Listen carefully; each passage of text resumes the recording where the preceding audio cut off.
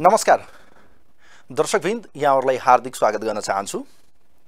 कार्यक्रम चक्रव्यूहमा म नवराज तानुक वास्तवमै यतिखेर विश्वभरि शक्तिको चाहिँ प्रदर्शन गर्ने महाशक्ति राष्ट्रहरूले चाहिँ विभिन्न देशमाथि हमला गर्ने कैयौँ घटनाहरू देखे विशेष गरी अमेरिकी सेना जबसम्म अफगानिस्तानमा थियो तबसम्म खास गरी त्यहाँको तालिबानले अफगानिस्तान र त्यसको राजधानी काबुलमाथि त्यति कब्जा गर्न सकेको थिएन जुन परिस्थिति पछिल्लो समय देखिएको छ। त्यहाँको विद्रोही शक्ति त्यहाँको लडाकु मानिने तालिबान शक्ति यतिखेर सत्ता कब्जा गर्न पुगेको छ। र विशेष गरी विद्रोह शक्ति जसरी देशमा देखिन्छन् विभिन्न क्रान्तिहरूमा हामीले देखेका छौँ। विशेष गरी नेपालमा पनि दस वर्ष सशस्त्र जनयुद्ध हुँदा नेपालको लागि त्यतिखेर त्यतिखेर पनि नेकपा माओवादीले पनि एक किसिमको सशस्त्र युद्ध र जसलाई चाहिँ बन्दुकको नालबाट सत्ता सत्ता कब्जा गर्छ कि भन्ने एक किसिमको भान थियो। त्यस्तो त्यस्तै देखिने तर अलिकति उग्रवादी जस्तो देखिने तालिबानले चाहिँ यतिखेर अफगानिस्तानमा जुन किसिमको सत्ता कब्जा गरेको छ त्यहाँको राष्ट्रपति उपराष्ट्रपति देश छाड्न बाध्य भएको छन्। यो सँगै यतिखेर विश्व आक्रान्त बनेको छ विश्वमा एक किसिमको नयाँ तरङ्ग पैदा भएको छ राजनीतिक वृत्तमा चाहिँ बहसहरू सुरु भएको छ इन्टरनेसनल मिडियामा। यो विषयले बडो चर्चा पाइरहेको छ। र पछिल्लो समय खास गरी नेपालको राजनीतिले नयाँ मोड लियो यतिखेर सत्ताको बागडोरमा अघिल्लो सरकारमा रहँदा गठबन्धन नेकपा एमालेसँगको सहकारीसँगै यतिखेर वाम गठबन्धनबाट टुटेर अर्थात् उहाँहरूको सम्बन्ध विच्छेदपछि एक किसिमको नयाँ परिस्थिति बन्यो र नेपाली काङ्ग्रेसलाई काँधमा बोकेर दगुड्नु पर्ने अवस्था नेकपा माओवादी केन्द्रका अध्यक्ष पुष्पकमल दाहाललाई लाग्यो। तर एक महिना बितिसकेको छ नेकपा माओवादी केन्द्र र त्यसै गरी नेपाली कङ्ग्रेस जनता समाजवादी पार्टी उपेन्द्र यादव नेतृत्वको र त्यसै गरी चाहिँ माधवकुमार नेपाल नेतृत्वको नेकपा एमालेको समूहको सरकारमा अझै प्रतित्व किन हुन सकेन? सरकारको यो गति हेरिरहँदा के सरकार असफलताको दिशातिर हिँडिरहेको हो? पछिल्लो समय नेपालको यो गतिविधि हेरिरहँदा विभिन्न राजनीतिक दललाई महाधिवेशन राष्ट्रिय सम्मेलन र त्यसका भातृ सङ्गठनहरूलाई पनि अधिवेशनको चटारो छ। यस्तो विषम परिस्थितिमा नेपाली कङ्ग्रेसले महाधिवेशनको तिथिमिति तय गरिरहँदा सत्तारूढ घटक मानिने नेकपा माओवादी केन्द्रले पनि पुस तेह्रसम्म एघार र तेह्रका लागि तोकेको राष्ट्रिय सम्मेलनको घोषणा गरेको छ। अब के नेकपा माओवादी कसरी अगाडि बढ्छ? यिनै विषय प्रसङ्गमा विशेष गरी पछिल्लो राजनीतिक घटनाक्रम र विशेषतः देशी विदेशी जुन घटनाक्रम देखिएका छन् यी विषयमा आजको विशेष अङ्कमा हामी कुराकानी गर्दैछौँ।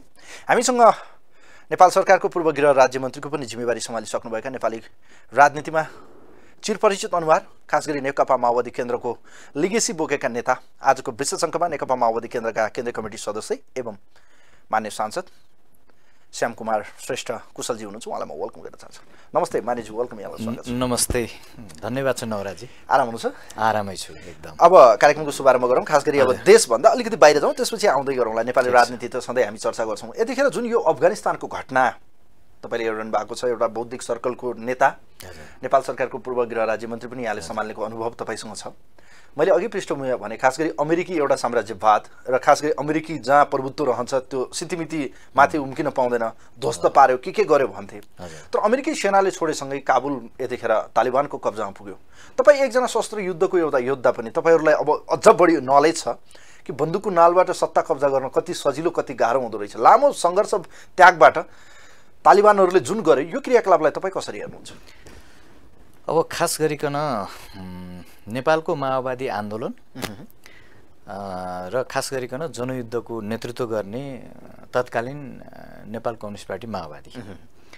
र अहिले यो अफगानिस्तानको तालिबानसँग जसरी तपाईँले जोडेर विषयवस्तुलाई चाहिँ नि अलि अलि उठान गर्ने कोसिस गरिराख्नु भएको छ यो केही भिन्न छ। होइन?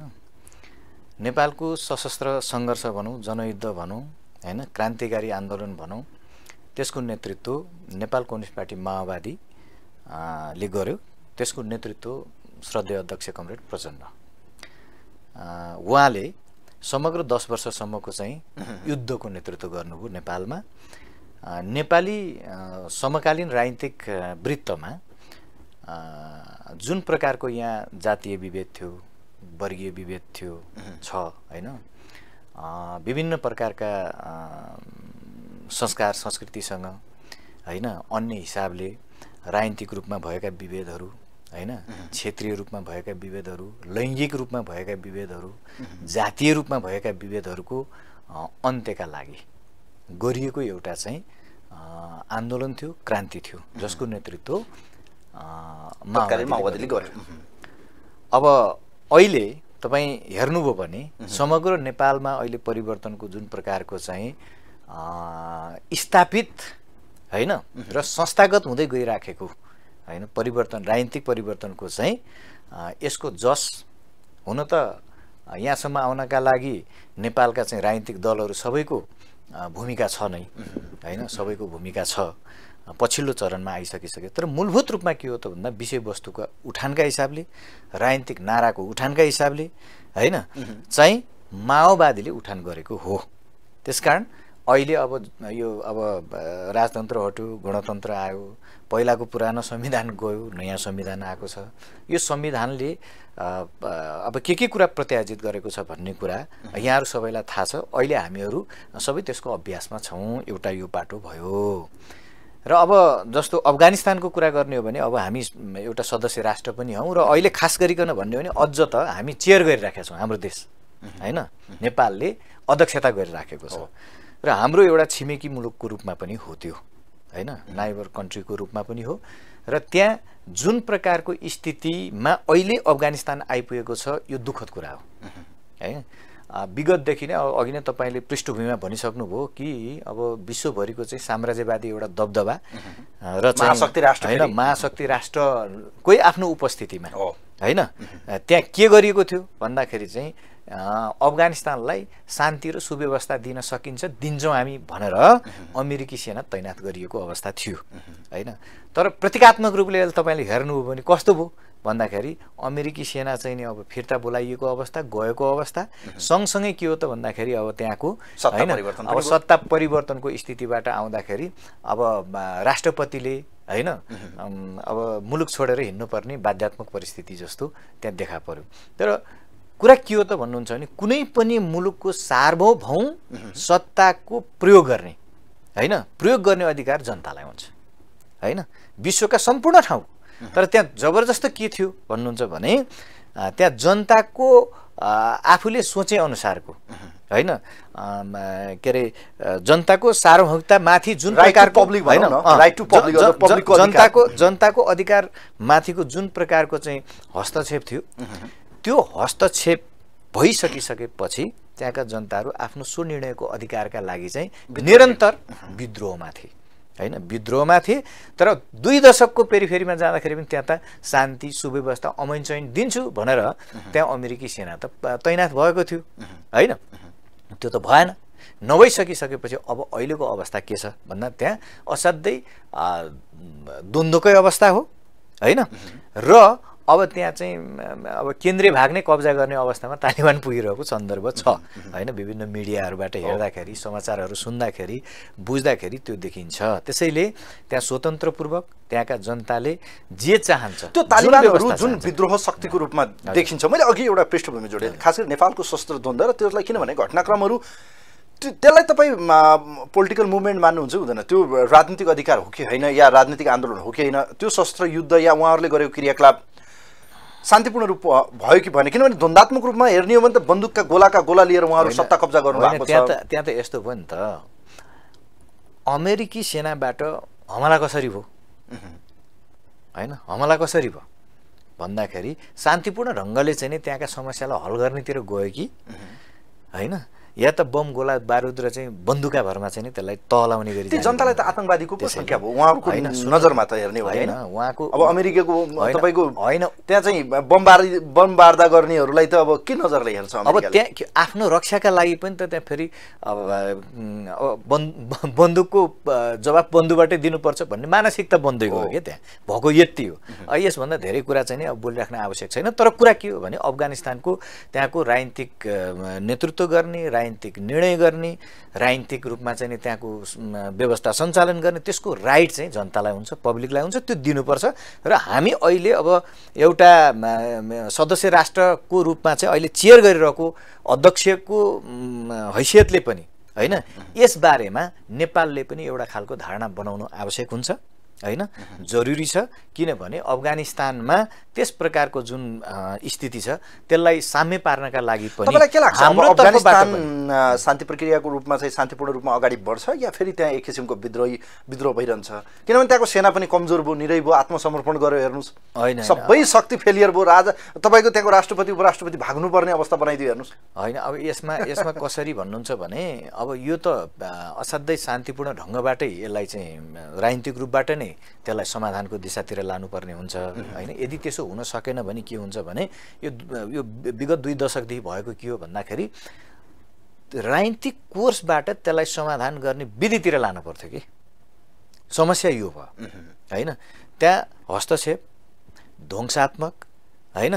बल प्रयोगका माध्यमबाट है? यताबाट चाहिँ नियन्त्रण गर्नेतिर गयो कि होइन? यो भएको हुनाले नै अहिले जुन प्रकारको परिस्थिति सिर्जना भइराखेको छ यसलाई चाहिँ हामीले आफ्नो ठाउँबाट पनि एउटा ढङ्गले चाहिँ के हो त भन्दाखेरि हामीले सकेको होइन सहयोग गर्नुपर्ने अवस्थाहरू आउन सक्छ अफगानिस्तानको राजनीतिक घटनाक्रम जुन देखियो। यसले चाहिँ विश्व राजनीति समग्र विश्वलाई अहिलेको यो एक्काइसौँ शताब्दीमा के म्यासेज दिन खोजिरहेको जस्तो लाग्छ? राजनीतिक वृत्तमा आज देशी विदेशी सबै च्यानलहरू हेर्नुभयो विज्ञहरूका विचार सुन्नुभयो भने। जसरी अमेरिकाले एउटा भनौँ न त्यहाँ चाहिँ आफ्नो प्रभुत्व राखेको थियो। त्यहाँबाट ब्याक हुने बित्तिकै त जनता त स्वतः विद्रोहमा उत्रे सत्ता कब्जा भयो। भनेको कसैको अन्डरमा त बस्न सकिँदो रहेछ छैन जनताको तागत यति पावरफुल हुँदो रहेछ। यसको म्यासेज के हो? तपाईँले के बुझ्नु भएको छ? तपाईँको नलेजले के भन्छ? यो चाहिँ कस्तो भने अब यो खास गरिकन मिडल इस्ट साउथ एसियाको मिडल इस्ट कन्ट्रीहरूमा पनि एउटा खालको चाहिँ लोकतन्त्रको अभ्यास गर्ने विगतको दिनमा एउटा खालको थियो। अहिले पछिल्लो दशकमा आएर एक ढङ्गले भइराखेको छ। होइन यतातिर धेरै व्याख्या चर्चा नगरौँ।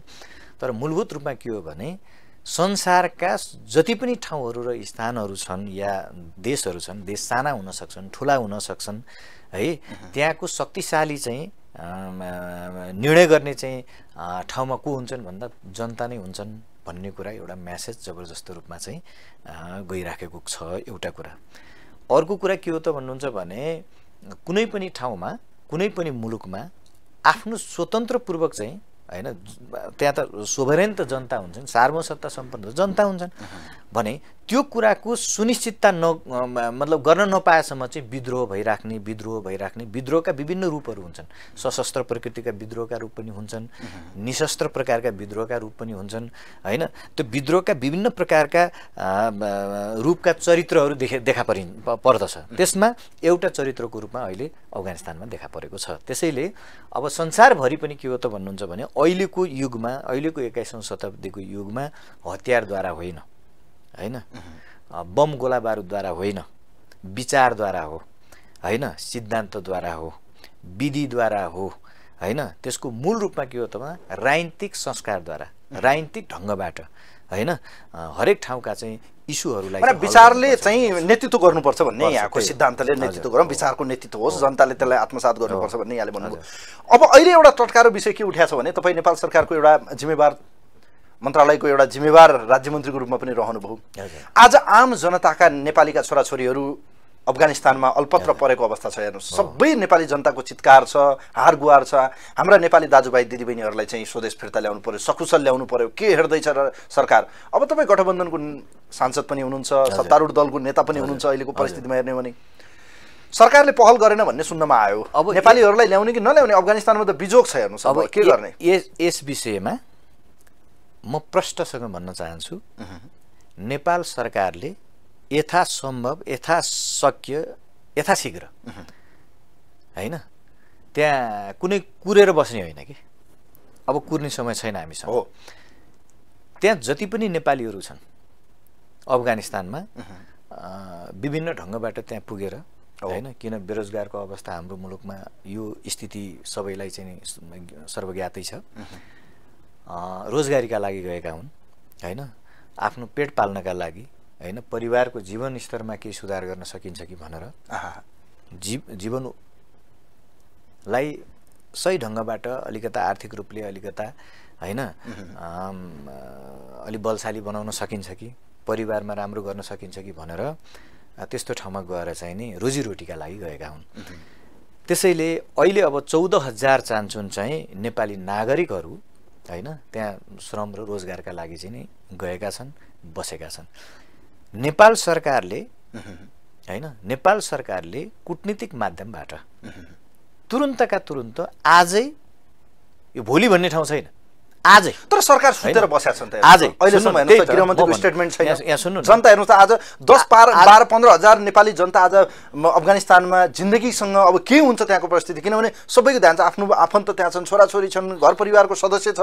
कस्तो बितिरहेको होला? एकचोटि सोध्नुहोस् त तपाईँको सदस्य तपाईँको मान्छे या तपाईँको छोरा या छोरी आज अफगानिस्तान भइदियो के बित्थ्यो तपाईँमा? त्यही त। सोच्ने कुरा के हो त भन्नुहुन्छ? असाध्यै मर्मात दर्दनाक होइन? काली लाग्दो अवस्थाबाट चाहिँ बाँचिरहेका छन् नेपालीहरू त्यहाँ अफगानिस्तानमा। र छिटोभन्दा छिटो तुरुन्तै चाहिँ सरकारले प्लेन चार्टर गरेर पठाउनु पर्यो। चौध हजार। नेपाली नागरिकलाई सर्लक्कै लिएर आउनु पर्यो। किन ढिलाइ भइरहेछ? के हो यो- कारण? यो- के कुटनीतिक हाम्रो क्षमताले भ्याएन कि अन्य देशका नागरिकहरू धमाधम लगिरहेछन् कि अमेरिकालाई हामीले भन्ने कि भारतलाई भन्ने कि म कसलाई भन्ने त हामीले? अहिले सत्तारूढ दलको होइन? सांसदको हैसियतले पनि अब यो मेरो अहिलेको जो बोलिराखेको छु म होइन हाम्रो संवाद भइराखेको छ सम्बन्धित क्षेत्रमा होइन सम्बन्धित अब विभाग भनौँ जसले यो काम गर्नपर्छ। त्यो काम गर्नका लागि म प्रष्टसँग भन्न चाहन्छु यहाँ अब पर्खेर बस्ने अरू ढिलासुस्ती गर्ने अन्य अन्य विषयवस्तुतिर तन्काउने यो वा त्यो बाहनामा चाहिँ नि ढिला ढिला गर्ने यो समय होइन। छिटोभन्दा छिटो प्लेन जान पर्यो पठाउनु पर्यो र उद्धार गरेर लिएर आउनु पर्यो यो आम जनताले के भन्न थालेका छन् भने अहिलेको सरकार विशेष गरी गठबन्धनको सरकार जनताप्रति उत्तरदायी छैन। विशेष गरी विदेशमा गएका नेपाली दाजुभाइहरू नेपाली होइनन्? मलाई जवाब दिनुहोस्। होइन, विदेशमा गएका नागरिकहरू नेपाली दाजुभाइ होइन भनेर त त्यो कल्पना गर्ने कल्पना नै गर्न सकिने ठाउँ हुन्न। यदि कसैले त्यस्तो खालको सोच राख्दछ भने त्यो सोच बहत्तर घन्टा बितिसक्यो नि त्यति राम्रो सोच। त्यसैले त्यसैले- त्यहाँ त म। भन्दैछु नि त किन ढिलाइ क्या? म भन्दैछु सत्तारूढ दलको एउटा सदस्यको हैसियतले म प्रष्टसँग भन्न चाहन्छु आजै अहिले एक घन्टाभित्रै दुई घन्टाभित्रै होइन एज सुन एज पोसिबल यथासम्भव शीघ्र चार्टर विमान पठाउनु पर्यो नागरिकहरूलाई लिएर आउनु पर्यो कुटनीतिक माध्यमबाट चाहिँ कति छ हाम्रा नागरिकहरू त्यहाँ? सबैको डेटा लिनु पर्यो र छिटोभन्दा छिटो उद्धार यो सरकार। जनताको सरकार हो ल्याउनु? पर्छ। यो सरकार जनताकै सरकार हो। खै त राज्य उत्तरदायी? भएन भन्छन् मान्छेले अहिलेसम्म हेर्नुहोस् त बहत्तर घन्टा बितिसक्यो कुनै अपिल छैन कहाँ छन् के छन् डाटै थाहा छैन। सरकार चौध सय भन्छ हामी भन्छौँ चौध हजार। अब यो के होला मलाई अब भन्नुहोस् अब अब अहिलेसम्म अहिलेसम्मको यथार्थ- लिगलाइज हेर्ने हो भने चौध सय। होइन होइन। अब अन्य देशबाट गएका हेर्ने भने चौध हजार पुगिरहेको छ भन्ने कुराहरू अब- अहिले कस्तो भने कतिपय चाहिँ अब तथ्य र तथ्याङ्कहरूमा होइन लिगल्ली रूपले गएका र अन्य कुनै हिसाबले गएका अहिले मैले अरू कुरा भनिनँ अन्य कुनै हिसाबले गएका। यो दुईटा अ, तरिकाले चाहिँ त्यहाँ नेपालीहरूको प्रवेश भएको हामीले पाएका छौँ। त्यसो हुँदाखेरि के हो भने लिगल्ली रूपले गएका नागरिकहरूको हकमा सबै प्रष्टसँग डकुमेन्टहरू हुन्छ। अब अलिकता घुम्रो तरिकाले गएको नागरिकहरूको हकमा चाहिँ राज्यसँग त्यसको तथ्य र तथ्याङ्क नहुन सक्छ। हो। होइन? तर अब फेरि के? भन्दाखेरि त अफगानिस्तानमै त्यहीँ पुगिसकेपछि त होइन त्यहाँ त तथ्याङ्क त छ नि। त्यसैले मैले भने के हो भने कुटनीतिक माध्यमबाट तथ्याङ्कका आधारमा सही तथ्याङ्कका आधारमा सबै नागरिकहरूलाई होइन होइन तथ्याङ्क समस्या होइन। समस्या के हो त? भन्नुहुन्छ भने अब अहिले तथ्याङ्क पनि हो। होइन जस्तो कस्तो भने चौध सय भनिएको र चौध हजार भने त त्यो त धेरै अन्तर भयो नि त। कहाँ हो कहाँ हो? होइन धेरै अन्तर भयो। त्यसो हुँदाखेरि सरकारले पनि के हो त भन्दाखेरि चौध हजारै हो कि होइन भनेर त्यसको तथ्य र तथ्याङ्कहरू सायद अ, गरिराखेको अवस्थाले गर्दा यो भएको पनि हुनसक्छ। किन चौध हजार नागरिक ल्याउनका लागि तपाईँको कति टाइम पिरियड लाग्छ? चौध सय ल्याउनका लागि कति टाइम पिरियड लाग्छ? होइन त? ल चौध सय मात्र रहेछ भनेर चौध सयको चाहिँ हाम लागि चाहिँ तपाईँको चार्टर विमान पठाउने हो भने अरू त छुट्ने भयो नि त हो। कि होइन? त्यसैले त्यो तथ्य र तथ्याङ्कहरू सबै चाहिँ त्यहाँ केन्द्रीकरण गर्दैछ होला भन्ने मैले बुझेको छु।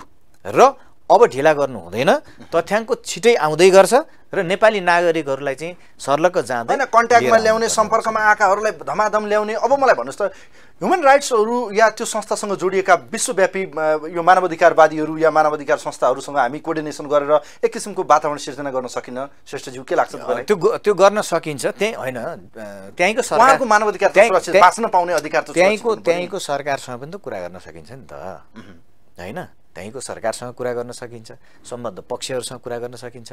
होइन? त्यहाँ चाहिँ ह्युमन राइट्सहरू पनि अब तपाईँले भन्नुभएको जस्तै होइन? विभिन्न मानवाधिकारवादी सङ्घ संस्थाहरू पनि छन्। त्यहाँ अब राष्ट्रसङ्घ पनि छ। छ नि त। होइन? विभिन्न के अरे इन्स्टिट्युसनहरू छ। र उनीहरूसँग पनि के हो त भन्दा संवादमा रहेर संवादमा नि रहने। नागरिकहरू पनि लिएर आउँदै गर्ने। यो यो यो ढङ्गबाट चाहिँ जानुपर्ने हुन्छ। र त्यही गरी चाहिँ जानका लागि आज सायद अब आज त्यहाँ सदनमा पनि धेरै कुरा उठ्यो हो। होइन? आज अब हाम्रो अर्थ समितिमा पनि छलफल भएको थियो। विशेष त्यहाँ चाहिँ अब विधेयकका बारेमा पनि छलफलहरू अगाडि बढिराखेको थियो। त्यो सन्दर्भमा त्यहाँ पनि कुराकानीहरू उठेकै छ। त्यसैले अब सरकारले चाहिँ अब ढिलासुस्ती गरेर बस्ने बेला छैन। तथ्य र तथ्याङ्कहरू त्यहाँ आउँदै गर्छन्। आएका भएका तथ्य तथ्याङ्कमा आधारित भएका नागरिकहरूलाई लिएर आउँदै गर्ने। नागरिकहरू त त्यहाँ आइहाल्छन् त एउटा कनेक्सन गर्ने। त्यो भएपछि त हामी जान सम्पर्कमा भएको मान्छेहरू त आइहाल्छ नि, आइहाल्छ हेर्नुहोस् न, जसरी पनि उहाँहरू नेपाल सरकारले अब नेपालीहरूलाई उद्धार गर्दैछ लाँदैछ आफ्नो मुलुक फर्काउँदैछ। भन्ने भइसकिसकेपछि त त्यो ठाउँमा होइन आइहाल्छन् नि।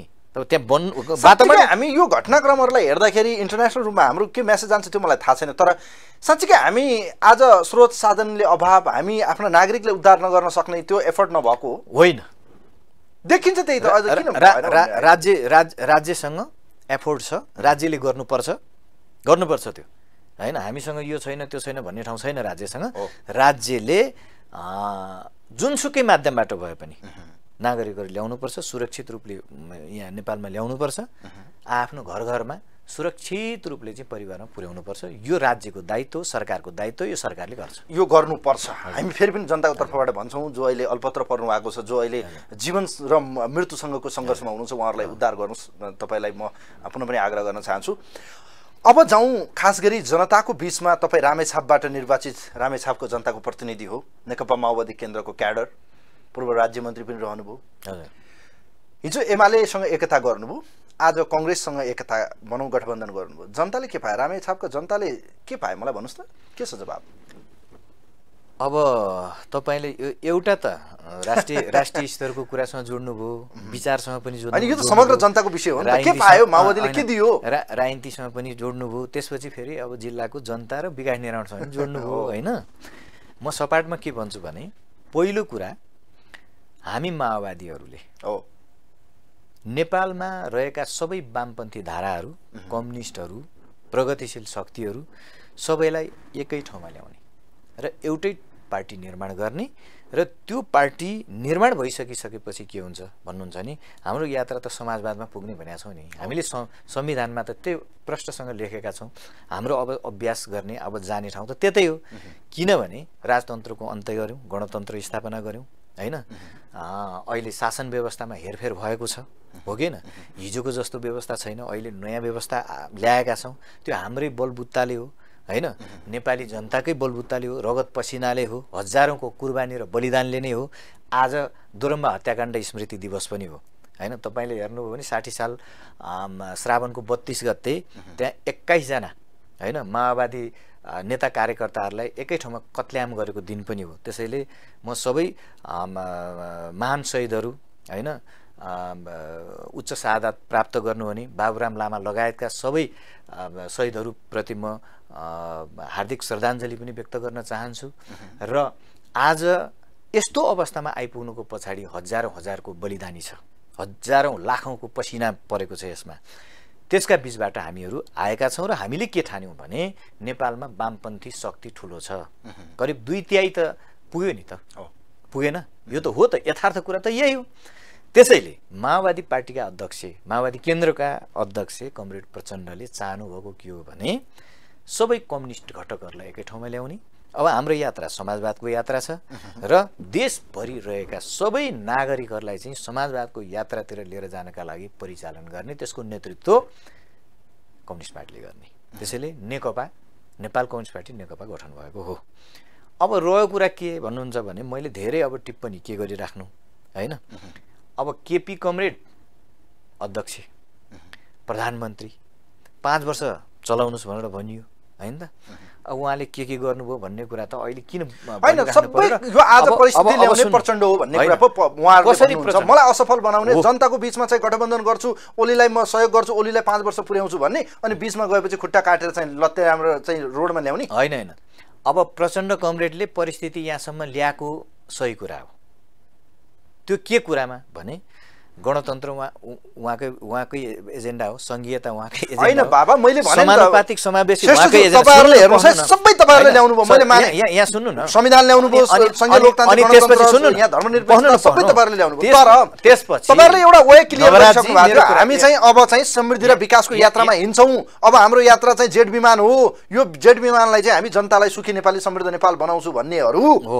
आज तपाईँहरूले जनतालाई चाहिँ यस्तो निराश बनाइदिनु भएको न सुन्नु न अनि यो परिवर्तनको श्रृङ्खला यहाँसम्म ल्याउने कमरेड प्रचण्ड होइन त। उहाँ उहाँको योगदान हो। क्लियर? होइन भन्ने ठाउँ छ कसैले भनेको छैन अहिलेसम्म? छैन। अब र यो परिवर्तन ल्याइसकिसकेपछि होइन त? यो परिवर्तनलाई संस्थागत गर्दै होइन त? समाजवादमा जानका लागि अब तपाईँ नेतृत्व गर्नुहोस् न त भनेर निर्विकल्प ल तपाईँ गर्नुहोस् भनेर केपी कमरेडलाई होइन त? ल चलाउनुहोस् भनेर पाँच वर्षका लागि प्रधानमन्त्री नेतृत्व गर्नुहोस् ल। आधुनिक नेपालको नेतृत्व पाँच वर्षका लागि गर्नुहोस् भन्ने प्रचण्ड हो।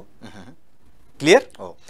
अनि यो अस्थिरता यस प्रकारको परिस्थिति सिर्जना गर्ने अनि कमरेड प्रचण्ड हो कि केपी ओली हो? भन्दा त केपी ओली हो नि त।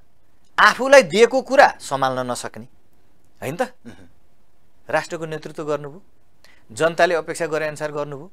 दुई तिहाईको संसद सुन्नु न उहाँले। मलाई गर्नै। दिएन। घेराबन्दी गरियो हटाउन खोजियो अनि- भगाउन खोजियो। अनि अनि गर्न दिएन भनेर भन्नु त्यो सुरुङ खने पनि मैले धरारा बनाएको नि मैले रानी पोखरी बनाएको नि मैले पूर्व पश्चिम राजमार्ग बनाएको नि मैले झिलिमिली गरेको पनि मैले।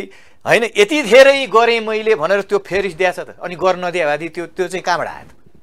गर्न दिए भए त्यो चाहिँ कहाँबाट भयो त्यसो होइन हटाउन- खोजियो। त्यो कुरा होइन। जनमत मसँग। म लोकप्रिय पाँच सिटमा आउनेलाई मैले आज यत्रो हैसियत दिएँ। आज मलाई चाहिँ लात हान्ने। होइन पाँच सिटमा को आउँछ भन्ने कुरा त फेरि जाँदैछौँ नि त डेढ वर्षपछि। ती देखिहालिन्छ नि। किन त्यो पाँच सिट दस सिट पचास सिट सय सिट डेढ सय सिटको कुरा गरेर तपाईँहरूको हैसियतै थिएन भन्नुभएको कसरी कसरी मैले बनाइदिए हैसियत हैसियत माओवादीले चाहिँ केपी ओलीको हैसियत बनाइदियो। केपी ओलीले माओवादीको हैसियत बनाइदियो होइन। यो कुरो प्रष्टसँग भन्न चाहन्छु म। र अर्को कुरा के हो भने दुई तिहाईको जनमत प्राप्त गरेको पार्टी ध्वस्त दुई तिहाईको प्रतिनिधि सभाको सदस्य त्यसको संसदीय दलको नेता केपी ओली प्रतिनिधि सभा भङ्ग। एकचोटि होइन। दुई दुई पटक। हो। पाँच वर्षका लागि हो नि। बालिक मताधिकारद्वारा निर्वाचित। पाँच वर्षको प्रतिनिधि सभालाई पटक पटक हत्या गर्ने काम कसले गर्यो? प्रचण्डले गरे कमरेड प्रचण्डले गर्नुभएको हो? होइन नि। त्यो गरे त केपी ओलीले हो नि। अनि केपी ओलीले हत्या गर्दै जाने प्रतिनिधि सभाको अनि दोष जति अनि कमरेड प्रचण्डलाई दिएर हुन्छ। हो? आफू काम गर्न नसक्ने आफू नेतृत्व गर्न नसक्ने आफू पार्टीभित्र मिलाउन नसक्ने होइन? मिलाउन नसक्ने। अनि त्यसपछि यो सबै गर्ने। उहाँले त यो राष्ट्रिय समस्या कमरेड प्रचण्ड पनि भन्नु हो। कमरेड प्रचण्ड राष्ट्रिय समस्या होइन समाधान हो। किन समाधान हो भने आजका आधुनिक अहिलेको समकालीन नेपाली राजनीतिक वृत्तमा तपाईँले हेर्नुभयो भने तपाईँले हेर्नुभयो भने समस्या होइन समाधान। किन समाधान? भन्दा यो मुलुकका लागि जनताका लागि हो नयाँ परिवेशमा नयाँ परिस्थितिमा नयाँ समस्यामा समाधान दिने पात्रको रूपमा कमरेड प्रचण्ड त्यो जो तपाईँ हेर्दै अस्थिर अवसरवादी र चाहिँ खुरापात हो भन्यो भने के हुन्छ? कसरी त्यो हुन्छ? त्यो हेर्नु न घटनाक्रमहरू यत्रो जनमतलाई तपाईँले तपाईँ तपाईँ भन्दै हुनुहुन्छ प्रचण्ड कमरेड चाहिँ अस्थिर। अस्थिर होइन। उहाँ स्थिर तर गतिशीलताको स्थिरमा। होइन? आफ्नो एजेन्डामा दृढ। हिजो चुनावभन्दा? पूर्व चुनाव? पूर्व अनि- अनि कङ्ग्रेससँग चुनावको बेला एमालेसँग फेरि चुनाव जितेर आएर एमालेसँगै पार्टी एकता अहिले आएर कङ्ग्रेससँग हेर्नुहोस् त यो यसलाई कसरी बुझ्ने होला? मलाई बुझाइदिन प्लिज। यहाँ सुन्नु न पहिलो कुरा के हो भने संविधानमा जे जे प्रावधान राखिएको छ त्यो प्रावधान खुलु खुलु खाइदिने सिद्ध्याइदिने निल दिने यो संविधानै च्यातेर फालिदिने ठाउँमा केपी ओली पुग्नुभयो यो संविधान भने केपी ओलीको आफ्नो मर्जीले ल्याएको हो र बनाएको हो र। हो। उहाँको चाहनाले बनाउने भए त उहाँ त अडचालिस सालदेखि नै चाहिँ हुनुहुन्छ नि त प्रतिनिधि सभामा आइराख्नु भएको हो यो यत्रो दुई दशकको बिचमा किन संविधान सभाको नारा उठेन? विधानसभाको नारा उठेन? के भन्छ के अरे गणतन्त्रको नारा उठेन? किन उठेन? किन सशक्त ढङ्गबाट चाहिँ नि ल ठिक छ पार्लियामेन्टमा आउनुभयो। नेकपा एमालेको पार्टी अध्यक्षको हैसियतले उहाँले निर्वाह गरेको भूमिका के नेपाली जनतालाई थाहा छैन? त्यसैले कुरा के हो त भन्नुहुन्छ भने उहाँ आजका दिनमा नेपाली समाजमा समस्याको विषय को भन्दाखेरि केपी ओली हो। नत्र यो यो स्थिति आउँदैन थियो अब रह्यो कुरा कहिले एमालेसँग कहिले काङ्ग्रेससँग। तपाईँले भन्नुभयो नि। अब केपी ओली संविधान राख्न नचाहने च्यात्न खोज्ने होइन त?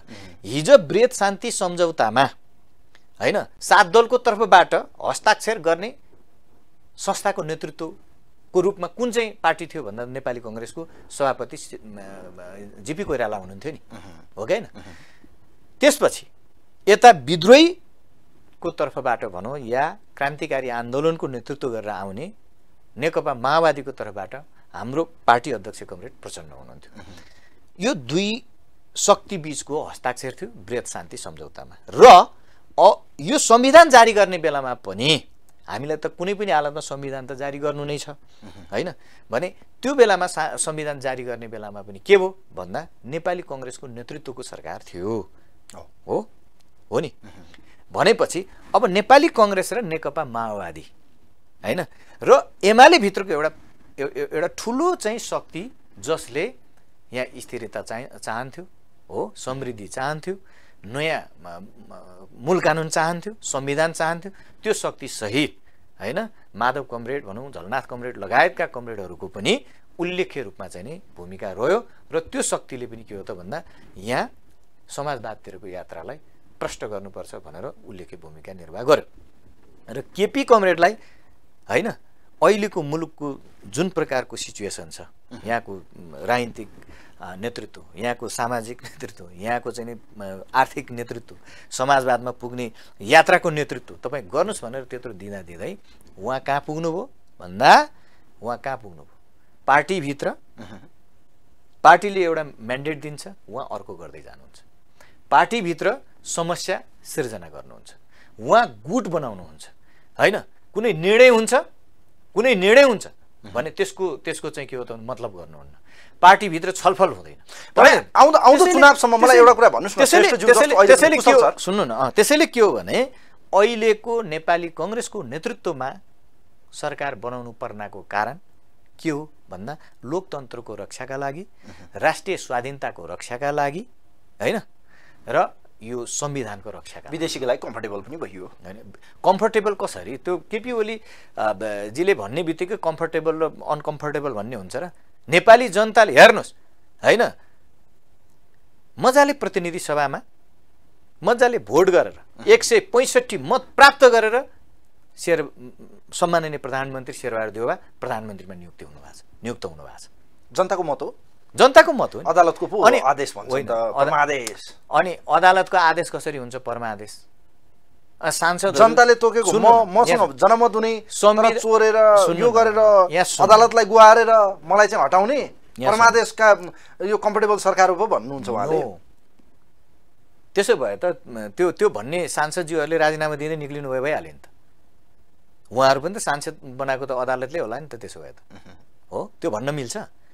शक्ति सन्तुलन र शक्ति पृथकीकरणको सिद्धान्तका आधारमा नियन्त्रण र सन्तुलन। मलाई एउटा कुरा श्रेष्ठ अहिले अहिले पनि हेर्ने हो भने हिजो चुनावमा तपाईँहरूले जे जनताको बिचमा राखेर प्रतिबद्धता गरेर या एक किसिमको सपना देखाएर तपाईँहरू जितेर आउनुभयो ठिक छ? अझै तपाईँसँग डेढ वर्ष अझै पर्फेक्ट टाइम छ किनभने सोह्र सत्र महिना अझै बाँकी छ। यो बिचमा कति काम गर्नुहुन्छ? यो सरकार कति सफल कति असफल त त्यो जनताले मूल्याङ्कन गर्छ। तर हिजो जनताको बिचमा तपाईँहरूले गरेको कमिटमेन्टलाई एकचोटि फर्केर हेर्ने हो सपना बाँडेकोलाई हेर्ने हो भने अब चुनावमा जाँदा के भनेर तपाईँहरू चाहिँ जनतालाई कन्भिन्स गर्ने? कि यो सबै कुरा समाधान गर्ने प्रचण्ड हो भन्ने कि? प्रचण्डले गर्दा यो व्यवस्था बच्यो भन्ने कि?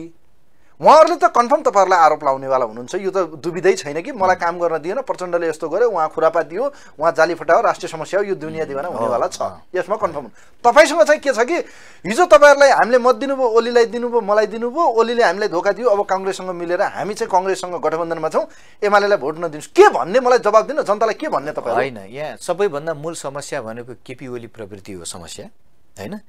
केपी ओली प्रवृत्तिको बारेमा भण्डाफोर गरिन्छ। गर्नुपर्दछ। किनभने उहाँ त यस्तो भएर आउनुभयो कि पुरै स्वेच्छाचारी पुरै करप्टेड होइन? पुरै चाहिँ तपाईँको चाहिँ नि यो लोकतन्त्रमाथिको प्रहार घाँटी निमट्ने हो। जनताको सार्वसत्ता सम्पन्न प्रतिनिधि सभालाई चाहिँ तपाईँको चाहिँ ध्वस्त गरिदिने भङ्ग गरिदिने कत्ल्याम गरिदिने तिर गएपछि। अब केपी ओलीजी चाहिँ कसरी जनताको बिचमा मलाई भोट दिए भनेर जाने? ल भन्नुहोस् त उहाँले त भन्नुहुन्छ। उहाँ प्रचण्ड। अस्थिर हो होइन, कसरी? एक ठाउँमा नअडिने हिजो? धोका दिएको होइन? तपाईँहरूलाई धोका दिनुभयो। मलाई धोका दियो पार्टीलाई धोका दियो सब प्रचण्डले भन्नुहुन्छ उहाँले हेर्नु होला प्र- प्रचण्डको प्रस्तावमा उहाँ प्रधानमन्त्री। तपाईँ नेपालको अहिले पछिल्लो दशकमा हेर्नुभयो भने प्रचण्डको प्रस्तावमा कतिजना प्रधानमन्त्री हुनुभयो यो मुलुकको नेतृत्वमा प्रचण्डले कतिजनालाई पुर्याए त्यो लेखाजोखा गर्नु भएको छ? त्यही त परिवर्तन गरिरहने मान्छे होइन। अस्थिर ल्याइरहने मान्छे घरिघरि दस? महिना बाह्र महिनामा सरकार परिवर्तन? गरिरहने मान्छे। त्यसो होइन त्यसो होइन। नेपालमा जब जब राजनीतिक समस्या आउँछ जब जब ठुल्ठुला प्रकारका चाहिँ नि चक्रव्यूहमा भनौँ न यो कार्यक्रमै चक्रव्यूह हो। चक्रव्यूहमा यो राजनीतिक चक्रव्यूहमा चाहिँ नेपालमा समस्या आ आइलाग्छ आउँछ। त्यसपछि प्रचण्ड चाहिँ समाधानको रूपमा आइराख्नु भएको छ। हेर्नुहोस्। यो सच्चाइलाई यो वैज्ञानिक सच्चाइलाई अनि भुल्ने होइन भन्ने तपाईँहरू जस्तो एउटा मिडियाकर्मी साथीहरूले त जे हो त्यो कुरा सच्चाइ यही रहेछ भनेर भन्नु पो पऱ्यो त। हो? त्यो त जनता सडकमा आएर प्रमाणित। त्यसैले अदालतले प्रमाणित त्यसलाई जनताले बुझ्लान् हाम्रो। संविधानमा हेर्नुहोस् व्य- व्यवस्थापिका कार्यपालिका न्यायपालिका होइन त? व्यवस्थापिकाले कार्यपालिकालाई नियन्त्रण गर्छ। के गडबडी गर्यो त्यो हो नि त थलो। हो कि कार्यपालिकाले देशको शासन सत्ता सञ्चालन गर्ने हो। दैनिक शासन प्रशासन सञ्चालन गर्ने हो। न्यायपालिकाले के गर्ने हो? भन्दाखेरि शक्ति सन्तुलन होइन। पृथकीकरणको सिद्धान्तका आधारमा होइन नियन्त्रण र सन्तुलनका आधारमा यो संविधानको अन्तिम व्याख्याता को हुन्छ? भन्दाखेरि त सर्वोच्च अदालत हुन्छ भन्ने त्यहाँ मजाले लेखिया ठिक छ। त्यसैले त्यसैले राष्ट्रपतिजीले एक सय उनपचासको हस्ताक्षरमा संविधानको धारा छयत्तरको को पाँच। पाँच अनुसार राष्ट्रपतिज्यूले चाहिँ नि सर्लक्कसँग चाहिँ ल बहुमत चाहिँ यता देखियो। अब यो गरिदिनुपर्छ भन्ने उहाँले आफ्नो ढङ्गबाट उहाँले बुझ्नु पर्थ्यो यदि त्यस्तो छैन भने ल त्यसै भौतिक उपस्थिति मान्यज्यूहरूलाई आ- आउनुहोस् न त भनेर आह्वान गर्न सक्नुहुन्थ्यो नि त। किन उहाँ त संविधानको संरक्षक पनि हो। संविधानको रक्षक पनि हो। संविधानको परिपालना गर्ने पालनकर्ता पनि हो। देशको अभिभावक पनि हो। राष्ट्र अध्यक्ष पनि हो। हो नि? अनि यति त गर्न पर्थ्यो नि। त्यसैले अब प्रधानमन्त्रीको रबर स्ट्याम्पको रूपमा रहनुभयो उहाँ पनि। खै, ठिक छ। होइन? त्यसैले अब यसलाई मलाई त्यसैले के हो यसरी त भन्दा भनौँ त, अदालतले त व्याख्या गर्दा यो बेठिक गर्नु प्रधानमन्त्रीले भनेर अब यो जनताले बुझिरहेका छन्। कानुनको व्याख्याता गर्ने विज्ञहरूले पनि भनिरहनु भएको छ। अदालतको निर्णय सबैले मान्नुपर्छ। म यसमा अब्जेक्सन गर्ने पक्षमा छैन। जसले गरिरहनु भएको छ उहाँहरूले आफै बुझ्नु होला हजुर। अहिले मलाई भन्नुहोस् मैले नबुझेको कुरा आम जनतालाई पनि लागेको प्रश्न हुनसक्छ हेर्नुहोस् श्रेष्ठज्यू। मलाई जहाँसम्म प्रश्न लाग्छ। आज जुन गठबन्धन तपाईँहरूले गर्नुभएको छ नि यो साँच्चीकै प्राकृतिक हो त। अहिलेको कतिको कतिको चाहिँ अहि- अहिलेको जनमतको भनौँ न पक्षमा भयो त यो गठबन्धन भन्नेलाई होइन। तपाईँ तपाईँ यसरी हेर्नु न। करिब दुई तिहाईको जनमत छ यो अहिलेको गठबन्धनमा। कसरी? एक सय पैँसठी भने कति हुन्छ? हिसाब गर्नुहोस् त। दुई सय पचहत्तरमा एक सय पैँसठी लगभग लगभग? मेजोरिटी पुग्न थाल्यो टु थर्ड पुग्ने हो। दुई तिहाई पुग्छ लगभग। लगभग होइन? होइन भनिसकिसकेपछि अनि जनताले भोट हालेर ड्याम ड्याम्दी भोट हालेर पठाएका सांसद होइनौँ हामी। म जस्तै एक सय पैँसठीजनाले मतदान गरेका छन् नि। हो? त्यसो भएको हुनाले यो गठबन्धन भनेको मैले अघि नै पनि भने लोकतन्त्रको रक्षाका लागि राष्ट्रिय स्वाधीनताका रक्षाका लागि र संविधानको रक्षार्थ यो गठबन्धन हो। यसलाई चिरस्थायी बनाएर हामी लिएर जान्छौँ। सिद्धान्त। नमिलेको गठबन्धन कस्तो कस्तो गठबन्धन मलाई भन्नु नि त प्लिज। सुन्नु न विचार सिद्धान्त कस्तो? विचार भने के भन्नुहोस् त? अहिलेको समस्या के? एउटा फिलोसोफी सुन्नु होला नि त होइन, कमसेकम एउटा धारबाट आएको यहाँ- सुन्नु एउटा। एक्काइसौँ शताब्दीको जनवाद गर्ने यहाँ सुन्नु न। यहाँ सुन्नु न। हामीले अहिले भनेको छौँ भर्खरै मात्र हिजो पनि हाम्रो केन्द्रीय समितिको मिटिङ सम्पन्न भयो। हामीले ऐतिहासिक निर्णय गरेका छौँ होइन? पार्टीको तर्फबाट हामीले लिने निर्णयहरू जनताको बिचमा चाहिँ सार्वजनिक पनि भइसकेको छ। अब हामी कता जाँदैछौँ भनेर हामीले प्रष्टसँग भनेका पनि छौँ होइन? विचारका हिसाबले वैचारिक हिसाबले हामी कम्युनिस्ट हौँ होइन त? हामी मार्क्सवाद लेनिनवाद माओवाद मान्छौँ। हो? अब रह्यो कुरा के? भने संविधानमा गएर तपाईँले हेर्नुभयो भने संविधान त यहाँ चाहिँ छ्याछ्या हुने भयो नि। संविधानलाई चाहिँ च्यात्रे फालिदिने भयो नि। त्यसो हुँदा यो संविधान निर्माण गर्ने चाहिँ एउटा ठुलो हिस्साको रूपमा नेपाली काङ्ग्रेस पनि हो। अहिलेको गठबन्धनमा हामी जति छौँ यी सबै के हो त भन्दाखेरि संविधानको रक्षा गर्नुपर्ने रक्षकहरू हुन् रक्षक शक्तिहरू त्यसले विचारको कुरा गर्नु भने अहिले विचार प्रधान के हो? भन्दा संविधानको रक्षा गर्नु। लोकतन्त्रको रक्षा गर्नु हो? लोकतन्त्रको रक्षा लोकतान्त्रिक मूल्य मान्यता अनुसार हामी होइन प्रतिस्पर्धामा गयौँ दलहरू निर्वाचित भएर आयौँ पाँच वर्षका लागि आएका हौँ तर लोकतन्त्रमाथि प्रहार भयो। प्रतिनिधि सभा विघटन भयो। प्रतिनिधि सभा विघटन गर्नु प्रतिगामी कदम हो भनेर भनियो प्रतिगमन गर्यो भनेर भनियो प्रतिगामी हरकत भयो यो केपी ओलीबाट भनेर भनियो त्यसैले त्यसका विरुद्ध हामी सङ्घर्ष यो गठबन्धन हौँ। जुट्छ अब। चुनावसम्म। मलाई भन्नुहोस् त भोलि गएर चुनावमा होइन यहाँ-? सुन्नु न यहाँ सुन्नु न। चुनावको कुरा अहिले किन गर्नुहुन्छ? डेढ वर्ष पछाडिको कुरा हो। हामीले त के भनेका छौँ भने राष्ट्रमा जब राष्ट्रियतामा खतरा आउँछ लोकतन्त्रमा खतरा आउँछ देशको मूल कानुनमाथि प्रहार हुन्छ संविधानमाथि के भन्छ के अरे घाँटी निमोट्ने काम हुन्छ त्यो बेलामा सचेत रूपमा यो मुलुकको हित चाहने राष्ट्रियताको रक्षाका लागि चाहिँ अगाडि आउने र लोकतन्त्र र संविधानको रक्षा गर्न चाहने शक्तिहरू चाहिँ अभियसली एक ठाउँमा आउँछन्। आउनुपर्छ। त्यो भएन भने त के हुन्छ? भन्दा अराजकता हुन्छ। त्यो भएन भने राजनीतिक अराजक हुन्छ। देशले दुःख पाउँछ जनताले दुःख पाउँछ दुःख पायो नि केपी ओलीले प्रतिनिधि सभा विघटन नगरेको भने लाखौँ मान्छे यहाँ सडकमा आइराख्नु पर्थ्यो कोरोनाको बेलामा। ल भन्नुहोस् त। ल भन्नुहोस् त। हो? आफू चाहिँ के भन्छ के अरे चाहिँ लकडाउन र दुनियाँ कुरा गरेर हिँड्ने अनि ऊ धरारा उद्घाटनदेखि सारा उद्घाटन गर्दै दुनियाँ गर्दै बालुवाटारमा चाहिँ तपाईँको बाह्र सयको केन्द्रीय समिति बनाएर अनि कोरोना झन् फैलाउने काम कसले गरे? केपी ओलीले गरे होइन? हो नि। त्यसो भएको हुनाले जनताप्रति उत्तरदायी हुनु पर्यो भन्ने कुरा हो। त्यसकारण अहिलेको यो सन्दर्भमा हाम्रो गठबन्धन चाहिँ राष्ट्रियताको सन्दर्भमा लोकतन्त्रको सन्दर्भमा होइन? जबसम्म सुदृढ हुँदैन तबसम्म यो गठबन्धन अगाडि बढ्छ। ठिक छ। अब आउँ नेकपा माओवादी केन्द्रतिर। हजुर। लामो इतिहास छ। छोटो समयमा तपाईँहरूले चाहिँ पपुलारिटी कमाउनु भयो। सत्तामा आउनुभयो संविधान दिन सक्नु भएन। सत्तरीको चुनावमा तपाईँहरूको अभिगत थाहा छ। चौहत्तरको चुनावमा आज कसरी परिस्थितिमा के भयो? अब भोलि के हुन्छ त्यसको मूल्याङ्कन फेरि समयले गर्ला। तर आजसम्म माओवादी आन्दोलन जुन ठाउँमा पुग्यो यो ओह्रालो लागेको हरिणको चाल जस्तो हो कि साँच्चीकै माओवादी सिद्धिन आँट्या हो कि? बाहिर हेर्दा है अन्यथा नलागोस्। यो केपी ओलीजीहरू एमालेजीहरूलाई पनि लाया होला। मलाई पनि अलिअलि लाग्छ क्या कहिले कहिले सोध्छु के भएको? यत्रो पार्टी यत्रो किन भयो? कहाँ जाँदैछ नेकपा माओवादी अब तपाईँलाई भनौँ? हुन्छ। हामी बैसठी त्रिसठी पछि शान्ति प्रक्रियामा हामी आइसकिसकेपछि चौसठीको चाहिँ निर्वाचन ताका हामीलाई केही साथीहरूले के भन्थे भने त्यही आठ दस सिट पाँच सात सिट जित्छ माओवादीले भन्ने यो कुरा गर्नुहुन्थ्यो। र हामीले के भन्यो भने पाँच सिट जित्छन् कि पचास सिट जित्छन् कि डेढ सय जित्छन् कि अढाई सय जित्छन् जनताको हातमा होइन? अब बालिक मताधिकारको राइट छ भोट गर्छन् त्यहीँ हेरौँला हामी परीक्षण त्यहीँ हुन्छौँ भन्यौँ हामी गयौँ। दुई सय चालिस।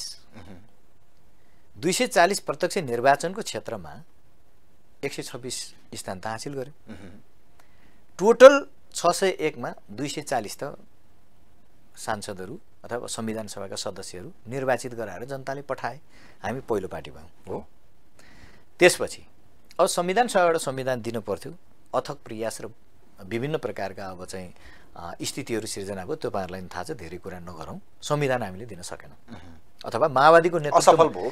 माओवादीको माओवादीको नेतृत्वमा संविधान दिनु पर्थ्यो किनभने माओवादीको नेतृत्वमा दुई दुईवटा के अरे सरकार बन्यो। अध्यक्ष कमल प्रचण्डको नेतृत्वको सरकार नौ। बाबुरामजीको। अर्को बाबुराम भट्टराईजीको नेतृत्वमा भट्टराईजीको नेतृत्वमा। भनेपछि दुइटै नेतृत्वमा संविधान जारी हुन सकेन। होइन?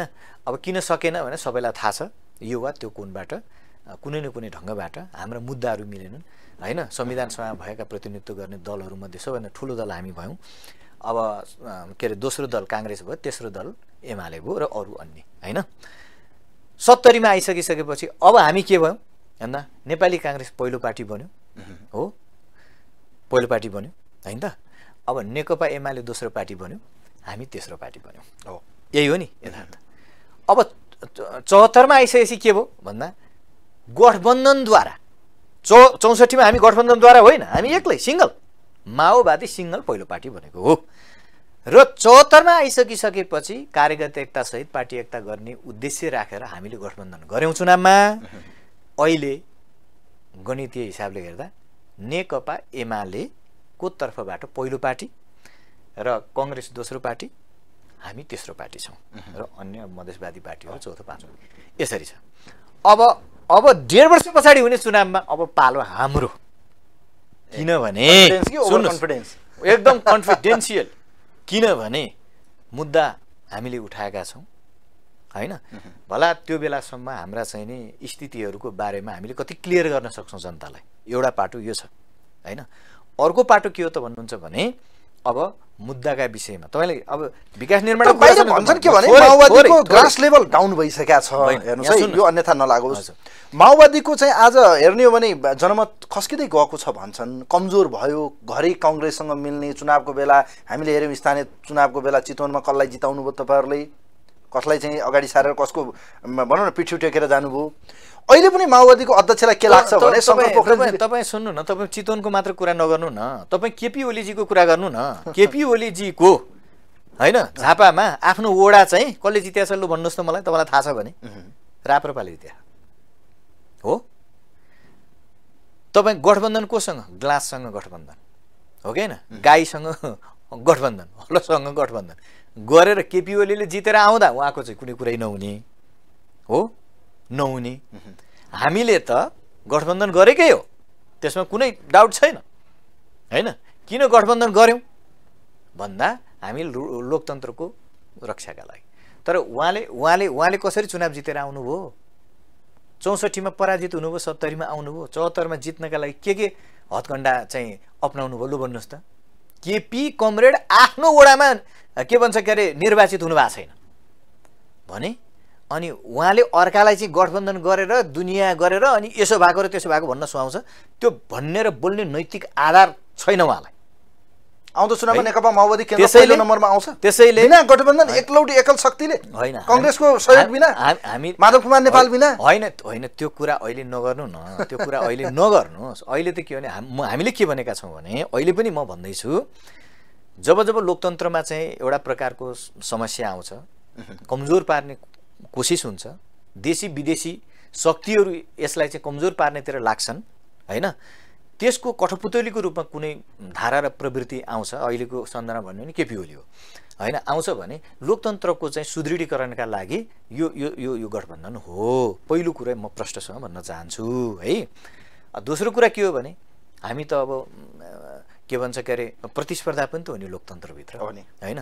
प्रतिस्पर्धा हो सुन्दर प्रतिस्पर्धा हुन्छ। प्रतिस्पर्धाका माध्यमबाट जनताले दिन्छ। होइन जनताको बिचमा हामी जान्छौँ। जस्तो रामेछाको कुरा गर्नु हो भने तपाईँ चौसठीदेखि सत्तरी हुँदै चौहत्तरसम्म निरन्तर हामीले जितेर आइरहेका छौँ। किन जित्यो? ल भन्नु त होला।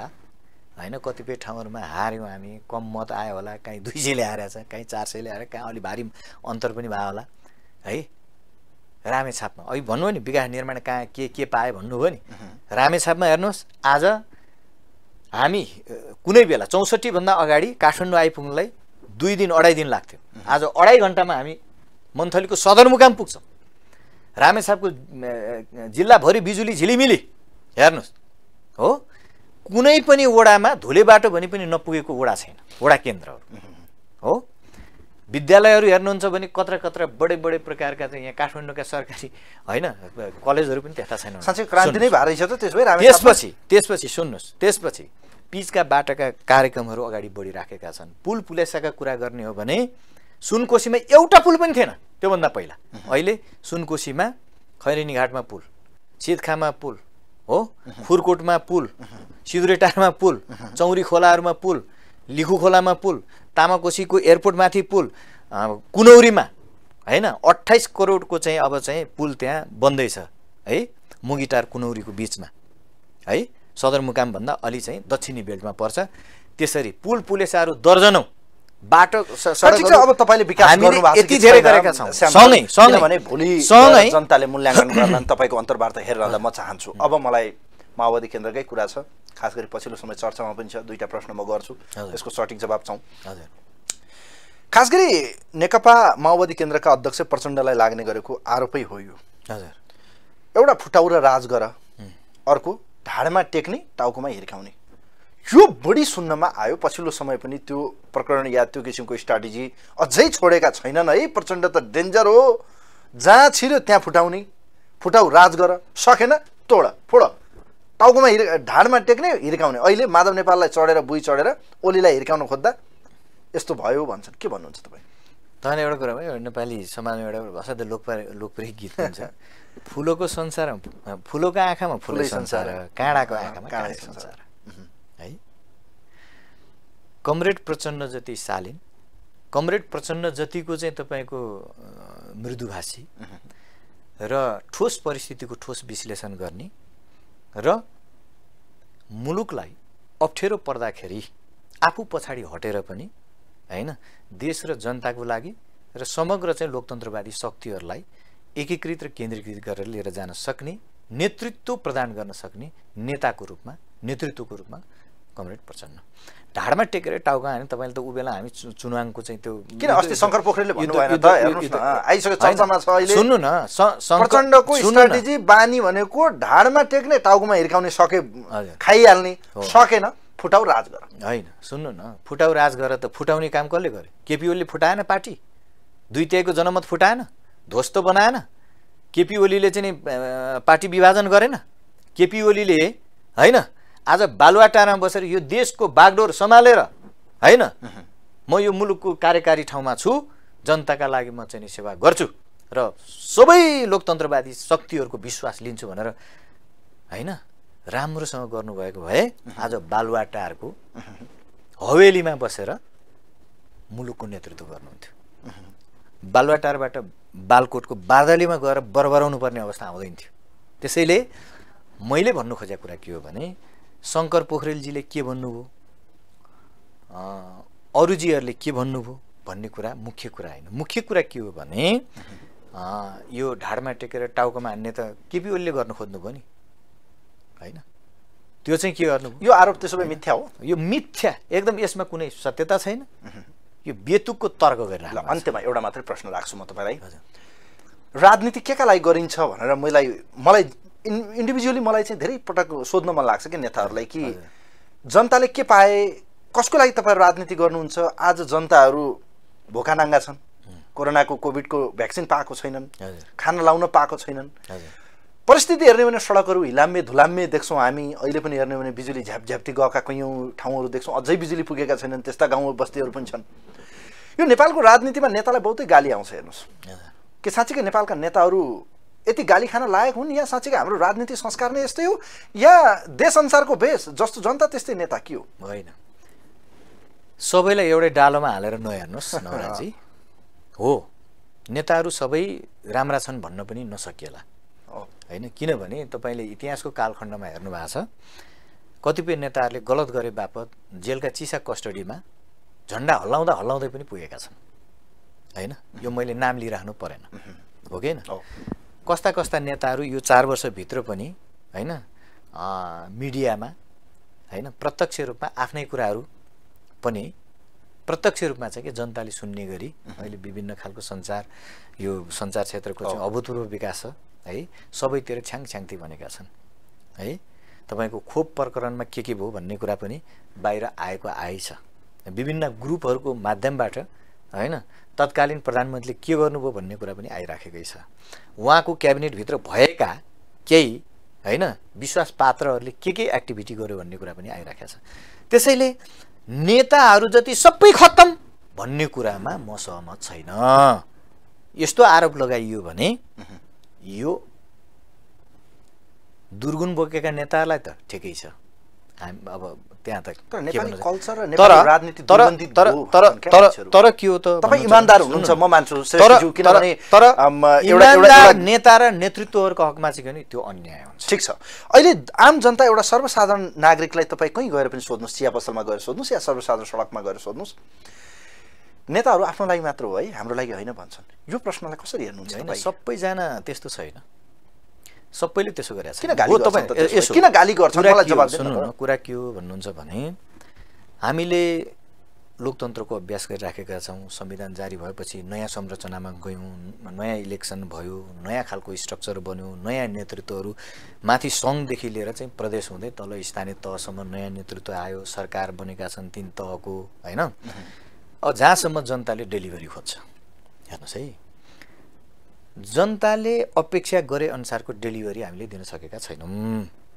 जसका कारणले यी प्रकारका जो तपाईँले उठाउनु भयो नि जनताले चाहिँ अलिकता गाली गलौज गरिराखेका छन् भन्ने सन्दर्भ कुरो।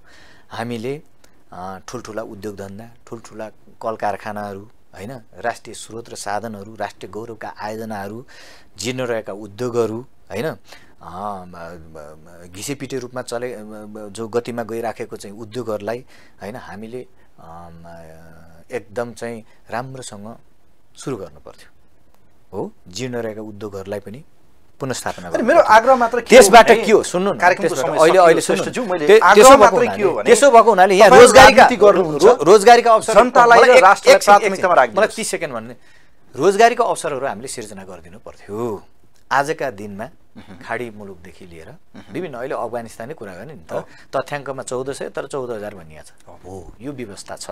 त्यसैले अहिले हामीलाई अथवा राज्य सञ्चालन गर्ने होइन शक्तिहरूलाई राम्रो काम गरेन भन्ने आरोप छ। तर अब म प्रष्टसँग भन्न चाहन्छु कि हामीले यस प्रकारका जो हामीसँग अपार सम्भावनाहरू छन् हामी आफैसँग छ भने त्यसमा ढोका खोलिदिनुपर्छ। त्यो काममा सरकार लाग्नुपर्छ। लाग्नका लागि हामीले पनि त्यसमै पनि केन्द्रित होस् मेरो आग्रह छ। थ्याङ्क यू सो मच यहाँलाई समय र विचारका लागि धन्यवाद दिन चाहन्छु। धन्यवाद छ नवराजजी तपाईँ लगायत प्रत्यक्ष रूपमा नियाली राख्नुहुने आम जनसमुदायप्रति म कृतज्ञता व्यक्त गर्न चाहन्छु धन्यवाद भन्न चाहन्छु। थ्याङ्क यू सो मच दर्शकबिन आजको यो विशेषङ्क कार्यक्रम चक्रव्यूहमा हामीसँग नेकपा माओवादी केन्द्रका युवा पुस्ताका बडो चर्चित नेता पूर्व राज्यमन्त्री गृह राज्यमन्त्री समेत रहिसक्नुभएका व्यक्तित्व नेकपा माओवादी केन्द्रका केन्द्रीय कमिटी सदस्य एवं प्रतिसभाको मान्य सांसद सांसद रामेछाप जिल्लाबाट निर्वाचित प्रतिनिधि पनि हुनुहुन्छ उहाँ। खास गरी यो पछिल्लो समय अफगानिस्तानमा नेपालीहरूको उद्धार किन हुन सकेन? सरकारको ढिलासुस्ती किन र के के कारणले गर्दा अहिलेसम्म उद्धार हुन सकिरहेको छैन? लगायत देशको राजनीतिमा माओवादी केन्द्र कहाँ छ? उहाँहरूले जसरी आज यो मुद्दाहरू उठान गर्नुभयो तर ओह्रालो जस्तो लागेको नेपालको माओवादी आन्दोलन अब उठ्ने सम्भावना कति छ भन्ने विषयमा रहेर कुराकानी गऱ्यौँ। कार्यक्रम हेरिदिनु भयो आभार व्यक्त गर्दै आजका अतिथिसँगै कार्यक्रमबाट म पनि बिदा हुन्छु। नमस्कार।